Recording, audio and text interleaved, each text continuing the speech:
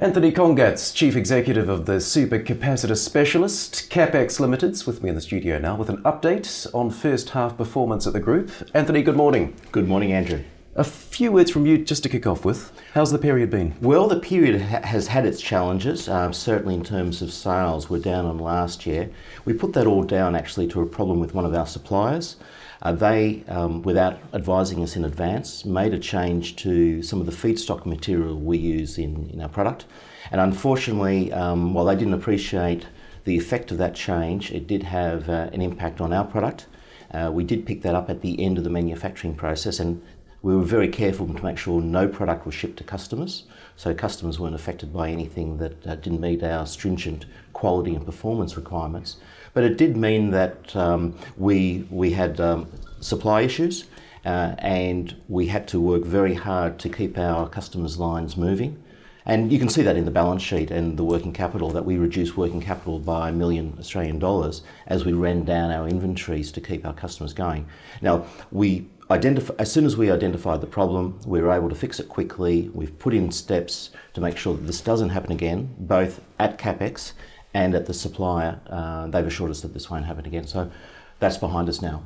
So other than that, actually, it's been a great period. There's a lot of development that's gone on, new products, new opportunities um, strong development in some of the existing markets. So I'm very excited. Well, let's kick off with some of those new products. Yeah. What are you most excited about? Well, automotive, uh, just large supercapacitors. Um, I know it's very hard to get into the automotive industry and it's a very complicated supply chain. So you've got your OEMs, your tier ones, your tier twos, your tier three suppliers, and, and Cap-XX has to find its place in the hierarchy there. And we don't, as you know, we don't have ambitions to be a supplier or manufacturer to the OEMs. But we are working on a number of very exciting automotive projects there. We've talked about the truck start um, applications before, and that's now being applied to some other markets like rail and some military and aerospace as well. So that's all um, pretty exciting. Um, but you know, it, it's patient. It's a patient sell, and there's always a lot of engineering to do. But I think long term it's going to be a great market for Cap-XX. And also some exciting developments where these new cylindrical can supercapacitors are concerned? Yes, well, now you've gone from the very big ones to the very small, cheap, and cheerful ones. So uh, we've introduced some new can capacitors here. So instead of being prismatic, um, which our traditional products have been thin and very uh, space efficient, the cans are, are bigger volumetrically and um, but we can make them cheaper, and um, that's important because in some applications, space isn't at a premium. And so, if the customer can use a cheaper but high performance supercapacitor from Cap-XX, that's great.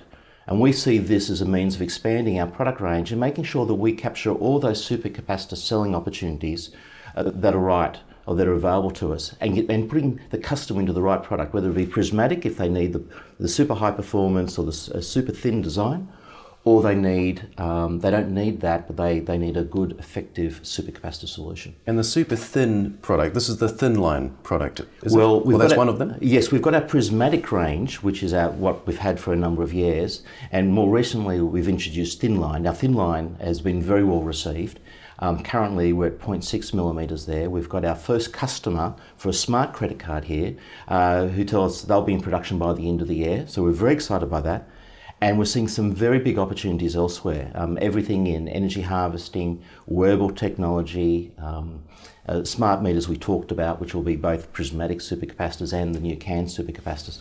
So there's a lot of sales opportunities we're seeing there for those existing products as well. So where, where wearable tech's concerned, in terms of the opportunities, you've got sort of smart clothing. There's also an an Alzheimer's application potentially? Well, we already have applications for Alzheimer's and we have um, for diabetics. We've got some new medical products um, that customers are working on that'll use our product as a wearable.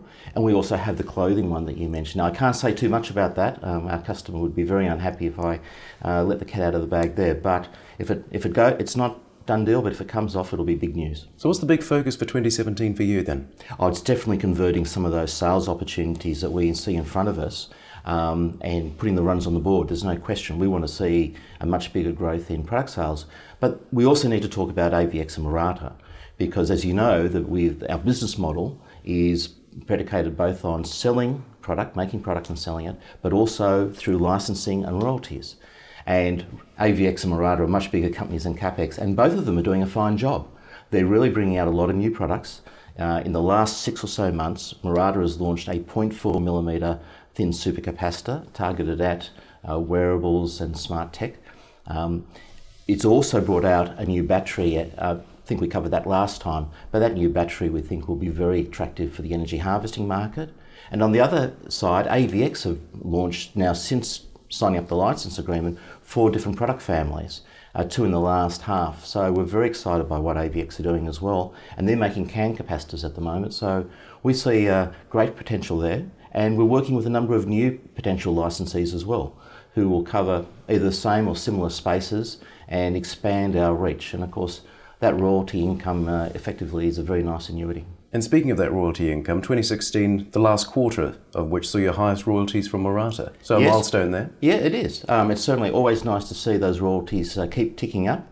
Um, and we're expecting strong royalty growth from both uh, Murata and AVX over the next um, 12 months. I think 2017 is going to be a very good story in terms of the whole licensing side of the business, both from the existing licensees and we expect new licensees as well. And post period, uh, how healthy was the balance sheet? Oh, we were fortunate that existing investors uh, were very keen to support the company, and we raised an additional 3.8 million Australian.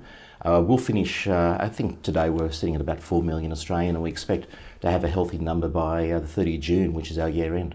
And so uh, strong, strong balance sheet. It'll assist us to uh, to speed up some of those new products and new market uh, developments we need. Absolutely, that's what I was about to touch on. A strong R and D pipeline there. Absolutely, there's a, a lot of our R and D um, uh, projects at the moment are actually being driven by customers or by the licensees.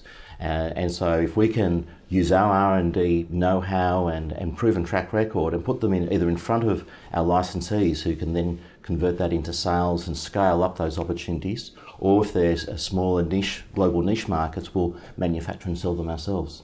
So it's an exciting period. But it's really hard not to be pleased with the progress you've made, Anthony. Thank you. Good to see you. Thanks very much for coming in. Thank you, Andrew. Nice to be here.